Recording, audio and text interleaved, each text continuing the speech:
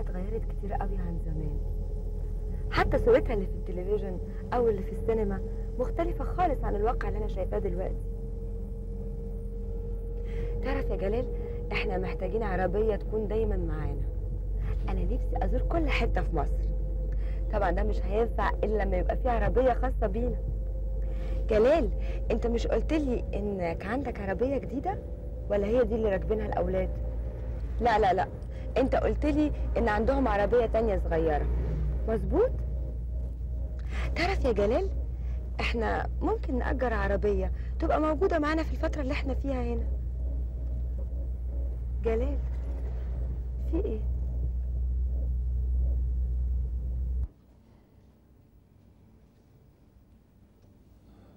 أنا رايح مشوار وجاي على طول.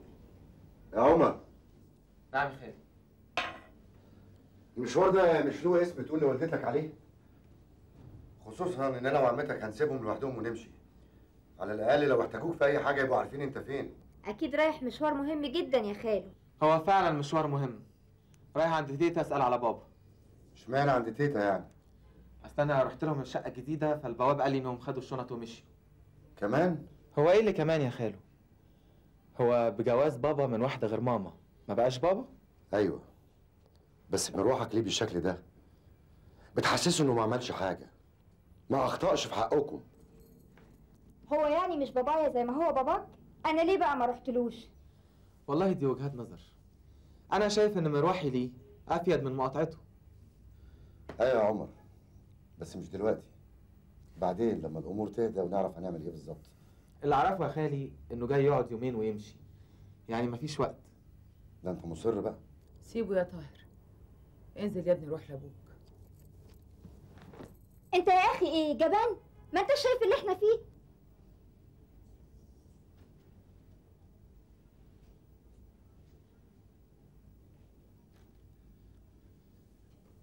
في يا ست كل مالك. في حد يبقى حوالين اللمة الحلوة دي ويكشر كده؟ ربنا يسعدكم يا ابني ربنا يخليك يا رب.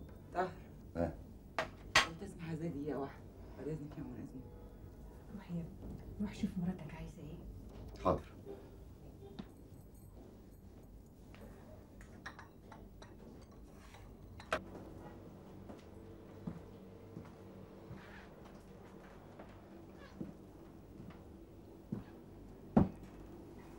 كنت عايزة أقول لك اسمعيني انت الأول. عارفة. ولا أروح عند ماما تاني ولا أكلمها في التليفون. لو كلمتك فهميها إن أنا اللي أمرت بكده. حاضر. واخوك جلال. طول فترة وجوده هنا وحتى بعد سفره لا تكلميه ولا يكلمك. لحد ما نشوف الأمور هتمشي إزاي. لو جد جديد هبقى أقول لك. اتفضلي.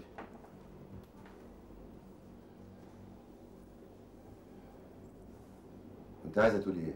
يعني كنت بستأذنك لو ينفع نقعد مع ماما ونهاد يومين. أنا حاسة وهم في الحالة دي إنهم محتاجين لنا قوي. وليه يومين؟ ليه ما تكونش فترة مفتوحة زي ما كنا بنعمل عند والدتك ولا تزعل مننا وتاخد على خاطرها؟ على فكرة أنا عديت على البنك وطلبت أجازة أسبوع من النهاردة وافقوا لي عليها الحمد لله. كويس. وفي حاجة تانية عايزة أقول لك عليها. نعم. معادي الليلة دي مع الدكتور فؤاد. وكورس العلاج خلاص خلص؟ طيب لما تروحي بيكلميني من هناك وخليه يكلمني.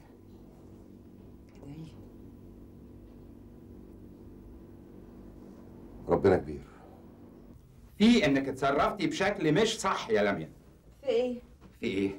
في إنك شايفة ماما مخرجة السمك والجمبري من الثلاجه وعمالة تحضر فيهم وتعبه نفسها وأنت بمنتهى البساطة تتجاهلي كل ده وتطلبي من المطعم سمك وجمبري برضه يا ريته كان أكل مختلف.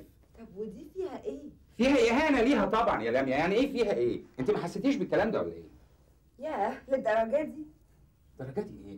أنا مش قادر أفهم أنت إزاي قادرة تاخدي الأمور ببساطة كده. أنت ما كنتيش حاسة إنها متضايقة منك جدا؟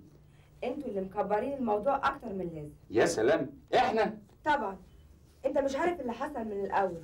أنا في الأول قلت لها يا طنط أنا عاوزة أشرب نسكافيه. قالت لي ما فيش غير قهوة. قلت لها طب أوكي أشرب قهوة. وأنت عارف كويس قوي إن أنا ماليش تقل على القهوة. ومع ذلك شربت القهوة دي غصب عني. وأنت برضو عارف كويس قوي إن أنا ما بحبش أشرب حاجة غصب عني ولا أعمل حاجة غصب عني. بعد كده بقى قالت لي يا حبيبتي تحبي تتغدي إيه؟ قلت لها أي حاجة يا طنط اللي أنت عايزاه. قالت لي تاكلي سمك؟ قلت لها هايل. السمك أنا بحبه جدا يا ريت ناكل سمك. فوجئت بيها بتطلع لي السمك من التلاجة. مجمد.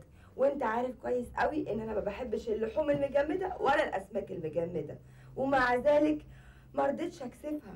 ما رضيتش أقول لها يا طنط أنا ما بحبش الحاجات دي الحاجات المجمدة. يعني كنت اعمل إيه يا ربي؟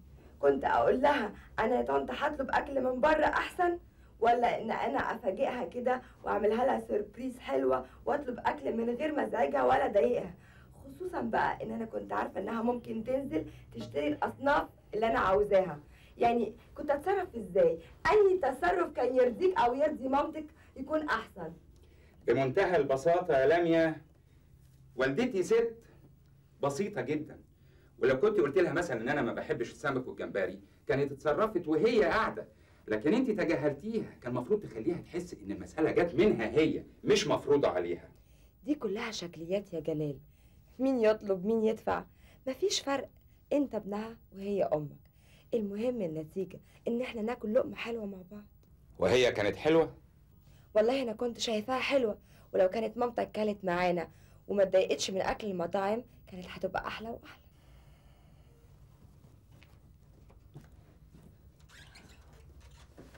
هتكلم مين؟ هكلم أسامة. يشوف لي بيعة للشقة والعيادة والعربية كمان لو العيال مش محتاجينها. طب والشقة ليه إحنا مش متفقين ان إحنا هنخلي الشقة. آه بس بعد اللي حصل أنا قررت أبيع كل حاجة. يعني إيه بقى؟ كل ما هننزل مصر هنقعد في أوتيل؟ واوتيل ليه؟ المرة دي كان ليها ظروفها. شقة ماما موجودة ويرمح فيها الخيل. لا أنا أفضل إن إحنا يبقى لنا شقتنا الخاصة عشان ما يحصلش ألو! أيوه يا أسامة. أنا الدكتور جلال.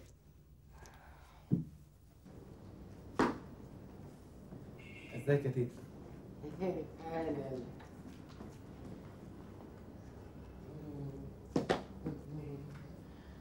قول لي.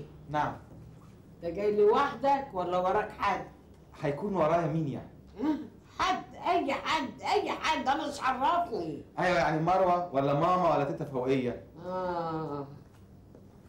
يا تيتا أنا راجل شاري دماغي. يعني خرجوني من الموال ده كله. أنا لا مع ده ولا مع ده. يعني أنت مش مع أمك؟ مع أمي في إيه بس؟ هي حرب. أيوه أمك عملتها حرب. حرب إيه بس؟ ما تروحي تشوفيها. هي قادرة تقف على رجليها. ده لولا كنت علا معانا ما كناش لا عرفنا ناكل ولا نشرب حتى. عولة عولة عندكم. عشان كده اتلميتوا كلكم وعملتها كوبانية عليا. كوبانية؟ هنعمل كوبانية عليكي ليه بس؟ يا تيتا هنعملها مع بنتك. أيوه بنتي. بنتي بنتي طول عمرها عبيطة عبيطة وامك وستك هما اللي بيسلطوها عليا لا حول ولا قوة إلا بالله هو أنا جاي في إيه ولا في إيه جاي في إيه؟ عارفة يا ضنايا أنت جاي في إيه؟ جاي تحرق دمي جاي تتجسس عليا تشوفني موت ولا عايشة؟ لا أنا عايشة روح قول لستك اللي بعتاك إن نظيرة عايشة وصحتها زي الفل ومش ممكن تعجز أبدا. أوه أنا جاي أشوف أبويا. فين أبويا؟ عايزه ليه؟ عايز أعرف مكانه. في جيبي. عايز تعمل بيه؟ عايز أبويا. أيوه ما أنا عارفة إن أنت عايز أبوك. إيه؟ هتحاكموه هتقدموه للمحاكمة. يا تيتا أبوس إيدك. أبوس إيدك ما تدخلينيش في يا النص. أخويا اوعى كده ما تحملنيش ذنوب. ده ده. ربنا يخليك يا تيتا. أنا عايز أشوف أبويا. مش أنت شفته في المطار؟ هو أنا لحقت. ده أنا يا دوب داخل أسلم عليه واللي حصل حصل. يعني ما لحقتش أقول له مبروك. قصدي الحمد لله على السلامة. قولي لي بقى يا تيتا بابا راح فين؟ يعني مش عايزه عشان تعكنن عليه؟ لا والله يا تيتا. أبويا وحشني أبويا وحشني ونفسي أقعد معاه شوية. ده أنا بقالي خمس سنين ما شفتوش. أمك السبب. خلاص يا تيتا خلاص أنا مقتنع إن أمي هي السبب في كل حاجة. بس أنا بقى ماليش ذنب. أنا عايز أشوف أبويا وأسلم عليه. لا تشوفوا لا. تكلموا معلش. كلموا هخليك تكلموا في التليفون. ماشي. وخليك بعيد. لو جيت ورايا وشفت النمرة هقفل السكة. لا تشوفوا ولا تكلموا فاهم؟ حاضر يا تيتا خليك بعيد. حاضر. بعيد. حاضر. آه بعيد. خليك بعيد. أهو. ها. تلاتة خمسة تلاتة أربعة. خمسة سبعة. ها؟ جاتك خيبة. ولا رقم من اللي انت قلته ده أنا ضربته. ماشي. إيه رأيك بقى؟ أيوه أيوه أنا معاك يا اخويا أنا معاك. فندق الأزهر. آه اديني أوضة 416 شكرين قوي يا أستاذ أم جلال إيه ده؟ شوف الورق. استغفرني ولقط النمرة. آه طب طول بالك عليا. ان ما وريتك ما بقاش أنا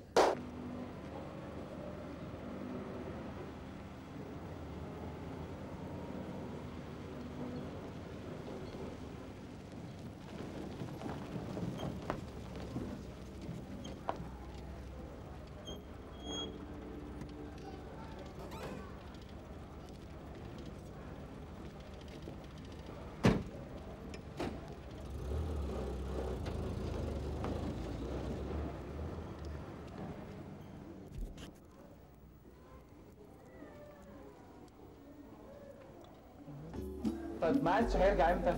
لا والله يا فندم للأسف. لا ممكن وأنا وأنا بسيب له رسالة؟ آه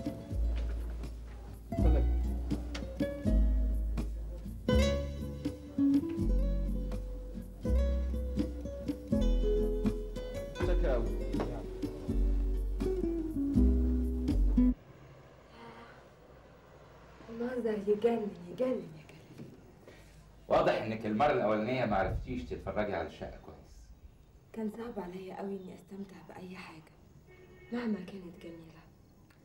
ياه كل حاجة قدام عينيا اتحولت لأشباح. صعب صعب قوي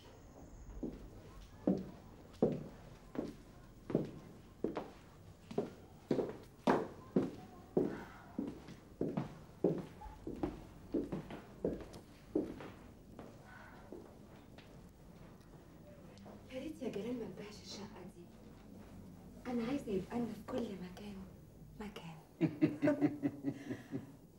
في الإمارات مكان في فرنسا مكان في اليونان مكان وهنا كمان في القاهرة. لازم يبقى لنا مكان جميل كده. ويا عالم بكرة هيبقى لنا مكان فين؟ مكان ما تحبي يبقى لنا مكان. هيبقى لنا.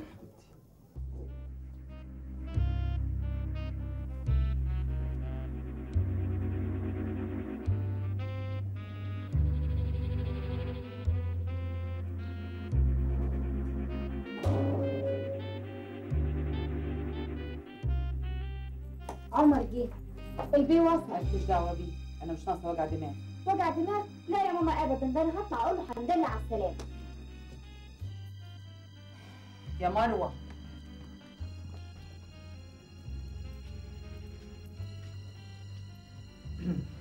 الحمد لله على السلامة. الله يسلمك. هي عايزة إيه؟ بتبص لي كده ليه؟ لا بس عايزة اتفرج على القلمين اللي أنت خدتهم على مين؟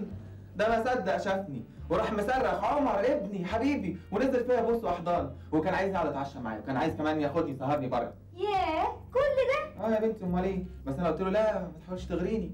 جاوبني الأول أنت إزاي عملت كده؟ إزاي تعمل عامله زي دي؟ قال لي معلش يا عمر غصب عني. قلت له لا يعني إيه غصب عنك؟ أنا مش قابل أي مبررات. قعد يحاول يستعطفني عشان أسامحه لكن أنا رفضت ابدا. عملت إيه يا عمر؟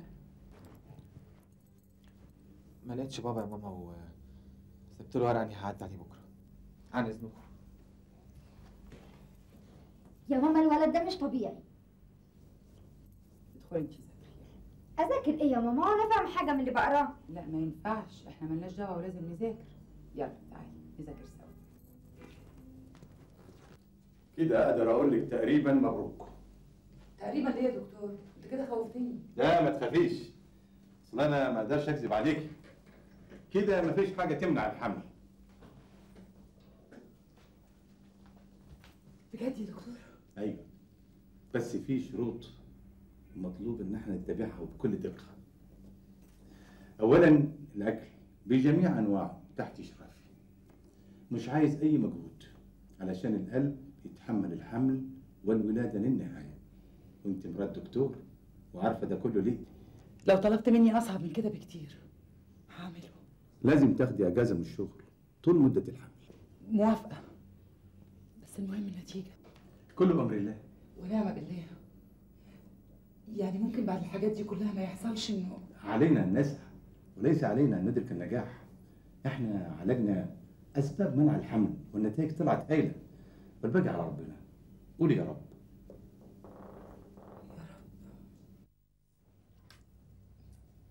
ربنا يسعدك يا بنتي. ويرزقك بالذرية الصالحة إن شاء الله. ربنا يخليكي يا ماما. ألف مبروك يا طنط علا. الله يبارك فيكي يا روح قلب طنط علا. طاهر كان رأيه إيه؟ في في الحمل؟ لا في الحالة يعني على بعضها. الدكتور فؤاد مش كلمه. آه هو كلمني وأنا عنده في العيادة. ها كان رأيه إيه بقى؟ قال لي لما أرجع نبقى نتكلم في الموضوع ده. الله هو الدكتور مش طمنك يا بنتي؟ أيوه يا ماما طمني الحمد لله. طيب طاهر هيتكلم معاكي فيه تاني؟ أنا ما صدقت إني هشوف له عيل قبل ما أموت. يا حبيبتي ربنا يديكي طولة العمر. إن شاء الله يا حبيبتي.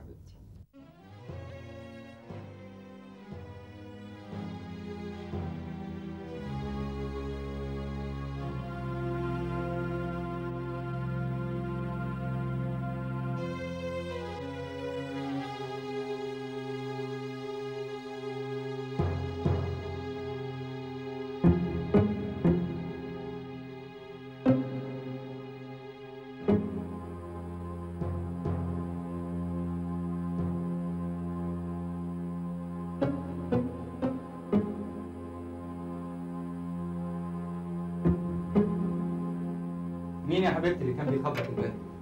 دي رسالة علشانك والله؟ بسم الله الرحمن الرحيم وليد الحبيب ده عمر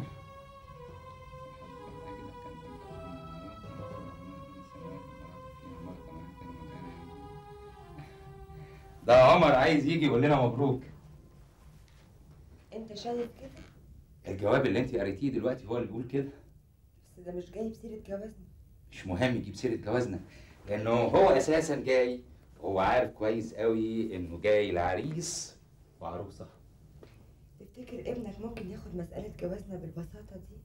وليه لأ؟ بقى راجل وفي الجامعة دلوقتي وبعدين عمر طول عمره متفهم موقفي وعارف كويس قوي مين فينا اللي غلطان. يا سلام! عاوز تلغي سنين عاشت أمه تربيه فيها أكيد دلوقتي بيفكر بعقليتها هي. حبيبتي عايز أديكي فكرة عن عمر. عمر هو الوحيد اللي كان دايما نفسه يجي ويعيش معايا. يعني تفتكر هو جاي من غير إرادتها؟ نهاد عمرها ما هتمنع ابنها عن أبوه. نهاد أنا عارفها كويس قوي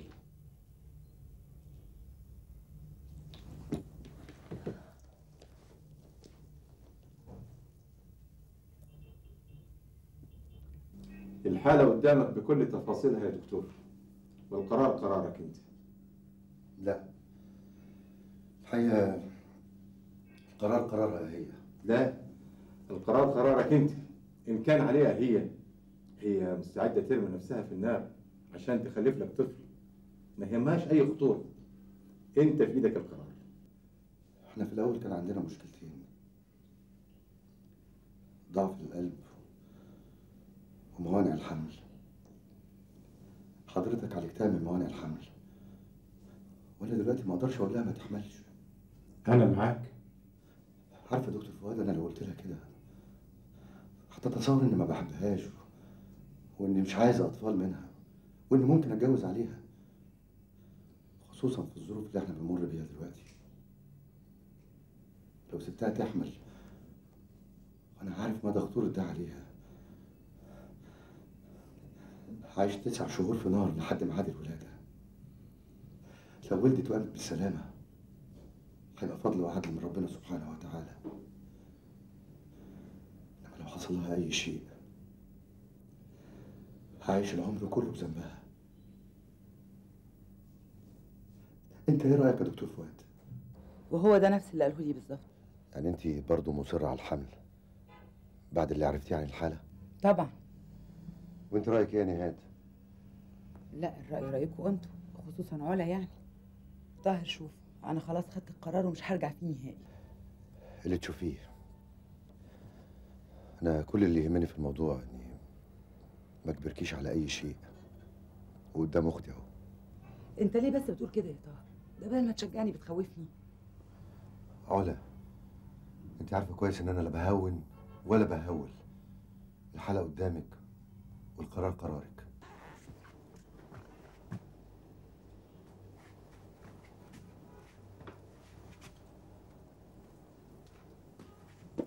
ما انتش مكسوف من نفسك؟ مروة.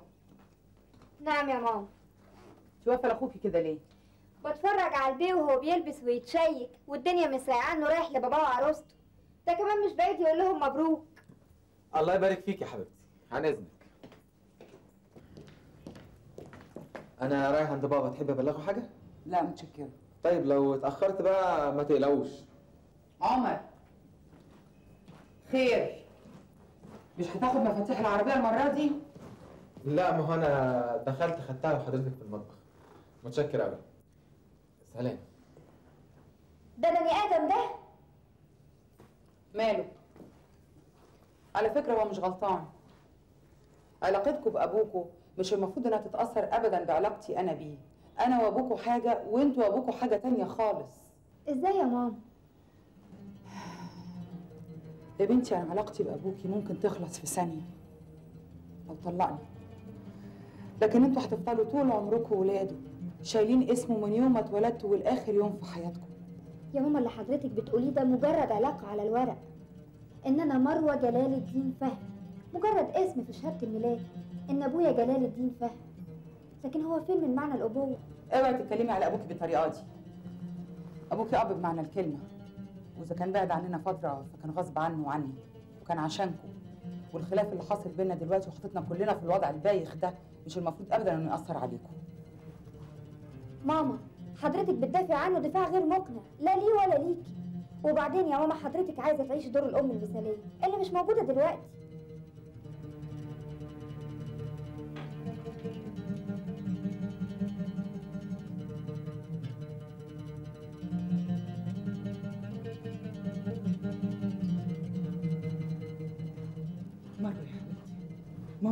قوي ومحتاجة حد يقف جنبها. يعني ما انتيش سامعاني يا طنط بتدافع عن بابا إزاي؟ بتدافع عن بابا إزاي؟ ما هي لازم تدافع عن بابا. انت ناسي إن ماما كانت بتحبه قد إيه ولسه بتحبه. لا يا حبيبتي ما تضحكيش الضحكة دي.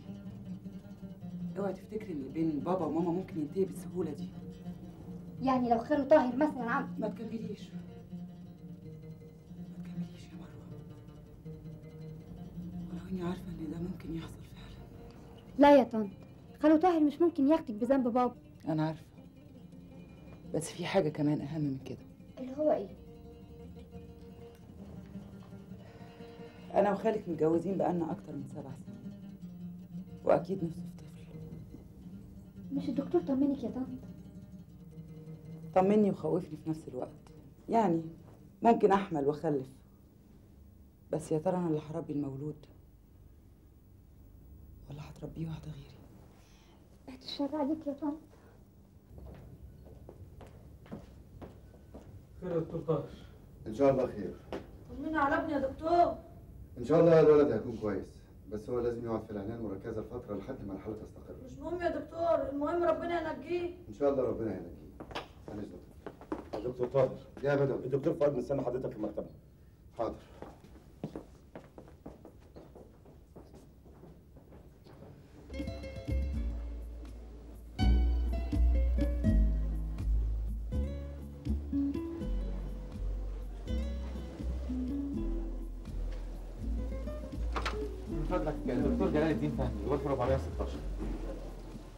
هو هنا ما خرجش بس مش في اوضته لحظة واحدة من فضلك أيوه. حضرتك الأستاذ عمر جلال؟ أيوه. هو سايب رسالة لسيادتك بيقول إنه موجود في الكافيتيريا. طب متشكر قوي نعم. خد يا حبيبي لو إن برضو أنا مش مقتنع ابدا بالفطار ده قلت لك نفطر فول وطعمية ما رضيتيش قلت لي الرجيم صباح الخير. أهلا. أهلا يا عمر. إزيك يا بابا؟ صباح الخير يا حبيبي. ازيك يا عمر؟ وحشتني. وحشني قوي الحمد لله على السلامة. الله يسلمك يا عمر. ازيك يا حبيبي؟ ازي حضرتك؟ آه عمر ابني الكبير في كلية تجارة في سنة تالتة يا بابا. أيوه تالتة. أهلا بحضرتك. اقعد يا عمر اقعد يا حبيبي. فطرت ولا تفطر معانا؟ هو أنا هقعد لغاية دلوقتي من غير فطار يا بابا. حضرتك عارف ماما من 7 الصبح كله بيكون فاطر أيوه أيوه عارف. أهلا يا حبيبي أهلا. يا متر ماما أنا آسفة يا ماما. أرجوك يا ماما ما تزعليش مني أنا ما قصدتش يا ماما أنا بحبك قوي وصعبان عليا اللي بيحصل لحضرتك ده حضرتك ما تستاهليش اللي بابا بيعمله معاكي. يا ماما أنا مش زعلانة عشانك بس أنا زعلانة عشان إحنا كمان. مش كفاية إن إحنا عايشين كل السنين دي على أمل إنه هيرجع يعيش معانا. وفجأة كده يضيع مننا الأمل بدون سبب أو حتى ذنب إحنا عملناه.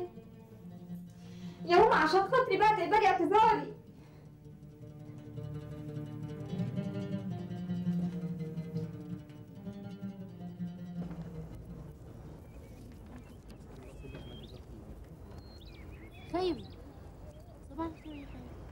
طبعا اذنك خلوصه أنت قلتي إيه؟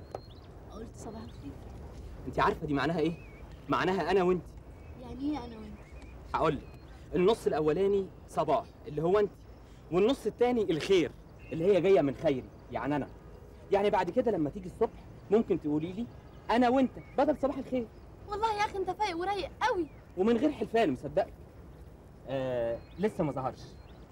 هو مين ده؟ عمر. أنت مش بتدوري على عمر؟ يعني. طب وليه يعني؟ ما تقولي أيوه. قولي لي قولي لي. إيه رأيك فيه؟ رأيي فيه. في عمر. رأيي فيه من ناحية إيه؟ رأيك فيه من ناحية الودن. نعم. بصراحة أنت إنسان غريب جدا. أنا شايفك بقالك مدة بتدوري على ودن تسمعك. وبصراحة مش هتلاقي أحسن ودن من عمر. أنت بتهرج أكيد. أنا ما بهرجش. أنا بتكلم بجد جدا. أنا شايف إن أنت وعمر حالتين بيكملوا بعض. أو بمعنى أصح حالتين محتاجين لبعض. أنت عندك الأب بلا أم وهو عنده الأم بلا أب. تخيلي بقى لو أنتوا الاتنين انضميتوا لأسرة واحدة ده طبعا بعد ما والدة عمر تتطلق. أنت أكيد اتجننت. أنت يا ابني بتخرف بتقول إيه؟ أهو أنتوا كده.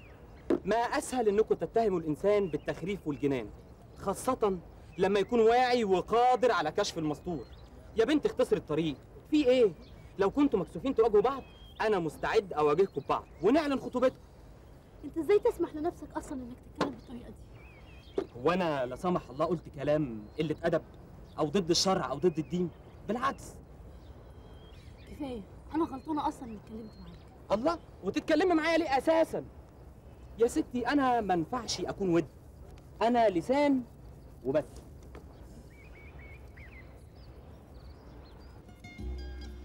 اللي عايزك تتفهمه يا عمر إن العلاقة بيني وبين والدتك للأسف وصلت لنقطة اللعب بمعنى إني ما أقدرش أرجع أعيش معاكم تاني هنا بسبب نجاحي وارتباطي بمشاريع كبيرة في الوقت نفسه والدتك رافضة تماما إنها تجيبكم علشان تعيشوا معايا هناك. وده خلاني أبقى مضطر إني أستخدم حقي الشرعي ويبقى لي زوجة ترعاني وتهتم بشؤوني وأنا مش بغلطك يا بابا ولا بغلط ماما. أصل كل واحد فيكم ليه وجهة نظر اللي بيدافع عنها. بس هو السؤال اللي عايز أعرف إجابته من حضرتك. إيه شكل العلاقة بينكم بعد كده؟ عادي جدا. نفس العلاقة هتفضل زي ما هي. بمعنى إني هاجي أزوركم وتيجوا تزوروني. يعني زي ما كان بيحصل بالظبط. يعني مفيش طلاق؟ اطلاقا. ولا الموضوع ده جه في دماغي. حتى لو والدتك طلبت. وعلى فكرة ده اللي أنا قلته لخالك طاهر. وخاله طاهر رأيه إيه؟ هو لسه سخونة الموقف مأثرة عليه شوية. كذلك والدتك برضه. عشان كده أنا عايز أسيبهم لحد ما الأمور تهدى ونعرف نتفاهم بالراحة. وأنا معاك يا بابا في الرأي ده. قول لي. طنط علا عاملة إيه؟ في إيه؟ يعني أنت شايف أحوالها مع خالك طاهر عاملة إيه؟ لا اطمن يا بابا. هما أصلهم الاتنين قاعدين معانا والمدة مفتوحة. يعني أنت شايف الأحوال بينهم طبيعية؟ ما أقدرش أعرف بالظبط أصل البيت كله أحواله مش طبيعية. إنما ما قلتليش أنت عرفت إن هنا إزاي؟ فسحة إيدي بس. من أول لحظة نطلنا في المطار. أروح الشقة ألاقي صورتها. أقعد مع أمه تطلع روحي. أهرب على الأوتيل ابنها ينطلي. دي مش عيشة دي.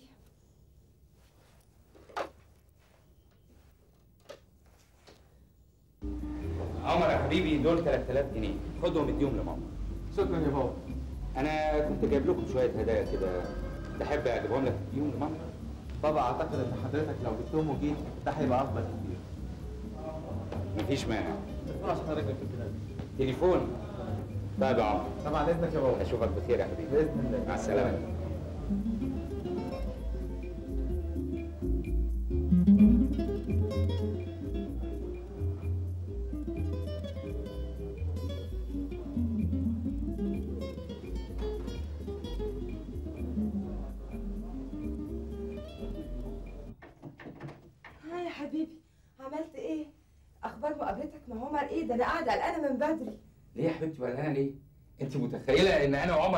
هنتخانق مع بعض ولا إيه؟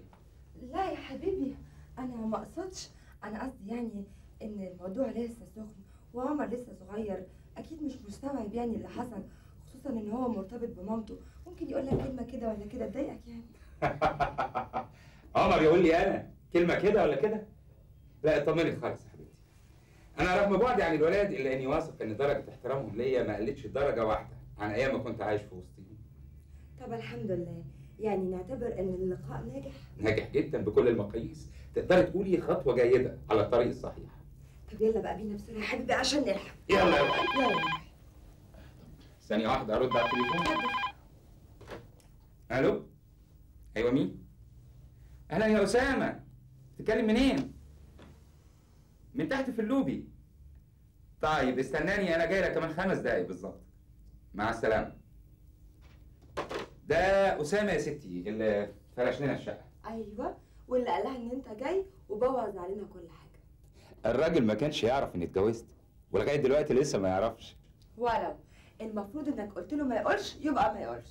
عموما إحنا لسه ما نعرفش الحقيقة فين وجايز جدا يكون غصب عنه عن إذنك. اتفضل. بقول لك إيه؟ اوعى تتأخر. مش هتأخر بس أنت كمان ما تطلبينيش في التليفون تستعجليني ها؟ bye bye.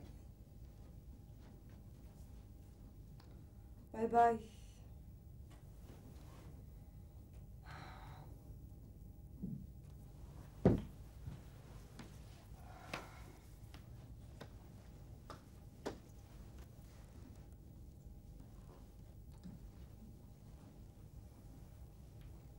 عمر الفلوس دي زي ما جبتها رجعها.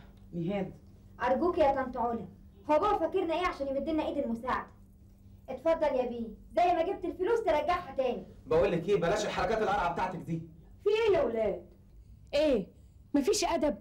امكم قاعدة واللي اكبر منكم قاعدة. ومفيش احترام. هتمسكوا في بعض وتتخانقوا؟ ما انت شايفة يا تيتا من امبارح وأنا ساكت لها ساكت لها ساكت لها وهي عمالة تبرطم مش عايزة تسكت. عايزين الفلوس دي؟ خدوها. مش عايزينها هاخدها أنا لنفسي. ولد الكلام اللي بتقوله ده بقول يا ماما ان دي فلوس أبويا سواء أنتوا خدتوها أنا أخدتها واحد. آه قول كده بقى ده أنت رايح ومخطط. مروة. إيه يا تيتا تعالي يا مروة. من فضلك يا طنط علا. أنا مش عيلة صغيرة عشان كل ما أجي أتكلم تسكتوني أو حضرتك كل شوية تسحبيني من إيدي وتهديني بكلمتين. لا أنا زي زي أي حد في البيت ده. ده أنا كمان أكتر واحدة مأذية من اللي حصل. وأنت اتاذيتي في إيه بقى إن شاء الله؟ قمر أنت عارف كويس قوي إن أنا مخنوقة ومش طايقة روحي اليومين دول. خلي عندك دم وما تزودش القرف اللي أنا فيه. لما أقول لك رجع الفلوس ترجع الفلوس من غير ما تفتح بقك بكلمة واحدة. أوعى تفتكر إنك هتمشي كلامك في البيت طول ما أنا موجودة فيه. أنت فاهم؟ شيل الفلوس دي من قدامي.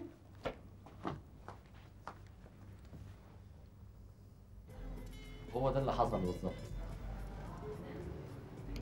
بصراحة مش عارف أقول إيه يا اسامه مش لاقي حاجة أقولها أكتر من إنها مصادفة أغرب من الخيال. ان كل واحد فينا يفكر في نفس الوقت في اللي بيفكر فيه كده إنه يفرش الشقه كل واحد فيكم كان عاوز يعملها مفاجأة للتاني. وبعدين أنا أحرجت ان ما اقولهاش لأني لقيت ان وجودها هيفيدني في اختيار الألوان اللي أنت طالبها. بس على فكرة أنت ما قلتليش إنك قلت لها. ما أنا بصراحة خفت إن أنت تزعل مني. وبعدين هي كانت محلفاني ما أقولكش. هو حصل حاجة بينكم بسبب الحكاية دي ولا إيه؟ حاجة؟ قول حاجات. ياه خير. الشقة دي كنت بفرشها علشان أنزل فيها أنا ومراتي الجديده نعم. مين؟ مراتي الجديدة. إيه؟ أول مرة تسمع إن واحد اتجوز على مراته؟ لا طبعا سمعت قبل كده بس الحقيقة أنا ما جاش في بالي ابدا انكم وبعدين أصل الباشمهندسة كمان ما كانش باين عليها حاجة زي دي خالص. لا ما هي ساعتها ما كانتش تعرف إني اتجوزت عليها. آه وطبعا هي كانت فاكرة إنك بتفرش لها هي الشقة. أيوه. وكان صعب إني أشرح لحضرتك الموقف بالتليفون. آه طبعا.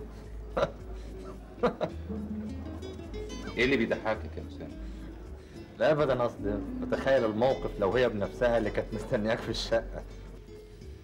ما فرقتش كتير. كانت سايبة اللي ينوب عنها. صورة زفافنا أنا وهي. خبر. صورة زفافكم؟ ده انت مصر تضحك برضه. انت المفروض تحزن المفروض تنكسف لانك السبب في اللي حصل ده. لا لا لا لا ما تلبسونيش أنا الغلط. السبب في كده هو عدم المصارحة لو انت من الأول قلت لي إن في مشاكل بينك وبين المدام كنت على الأقل هاخد احتياط. لكن لما تقول لي مفاجأة معنى كده إن في حب بينك وبينها والعلاقة مية مية. خلاص يا أسامة اللي حصل حصل بقى. خلينا في المهم دلوقتي. تليفون علشانك من مين؟ المدام عايز حضرتك ضروري طب شكرا. بعد إذنك أسامة ثانية واحدة أشوف المدام وأجيلك. أنهي مدام فيهم؟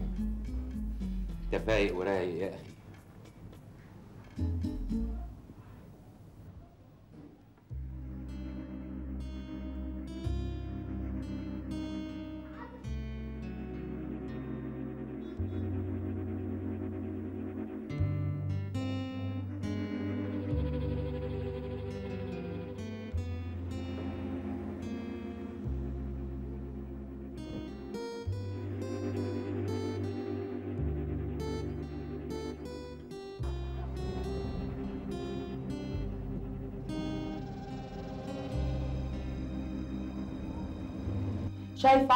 وداه لغاية فين؟ ده ما بقاش دكتور بقى تاجر كل حاجة عنده بكام؟ أخوكي ده زمان ياما اتخانقت معاه. قال إيه؟ ما كانش بيرضى ياخد ثمن الكشف من العيانين اللي بيحس إنهم غلابة. النهارده الله يكون في عون العيانين بتوعه تلاقيه بيذبحهم. انت عايزة رأيي. اتفضلي قولي. لا ما دام هتقوليها كده بس ترى خلاص مفيش داعي تسمعي رايي ما تتكلمي يا علا عايزة تقولي إيه؟ خلاص يا نهاد هو إيه اللي خلاص أنت قلتي حاجة؟ بصراحة أنا مش موافقة على تصرفك مع عمر. ليه بقى إن شاء الله؟ بقول لك إيه من غير نرفزه لو هتنرفزي مفيش داعي نتكلم أو نسمع بعض. يعني كنت أفرح بيه وأخده بالحضن عشان جاي لي شايل ومحمل من عند أبوه؟ أنا من رأيي إن انت ما تقطعيش الصلة بين الولاد وابوهم وخصوصا عمر. انت عارفة ليه؟ لأن ده مش في مصلحتك. صلة إيه يا علا هو في سر عشان أقطعها ولا أوصلها؟ ولا انت كنت عايزاني آخد الفلوس؟ وليه لا يا ستي هي مش فلوسكم وافرضي أنا لو أخدت الفلوس يبقى الموضوع خلص على كده. جلال مش عبيط عشان يفتكر كده وعارف مين نهاد كويس قوي. لا واضح إنه لسه مش عارفني. ولا بينه نسيني خالص. لا ده ولا ده. يعني إيه بقى إن شاء الله؟ واضح إن أخويا حاسس بالعملة المهببة اللي عملها. والفلوس اللي بعتها دي تعتبر جزء من إن هو عايز يبعت لك اعتذار. وكنت عايزاني أقبل الفلوس. يعني قبلت الاعتذار وخلص الموضوع على كده.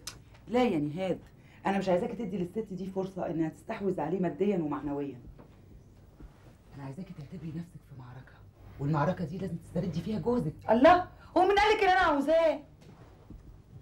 أهو ده بقى الكلام اللي أنا مش عايزة أسمعه واللي هي عايزاه منك إن الخلافات تزيد بينكم أنتوا الاثنين ساعتها هي هتستولي على كل حاجة وانت هتخسري كل حاجة. اسمعيني كويس لازم تسيبي الخطوط مفتوحة بينكم لأن ده مش في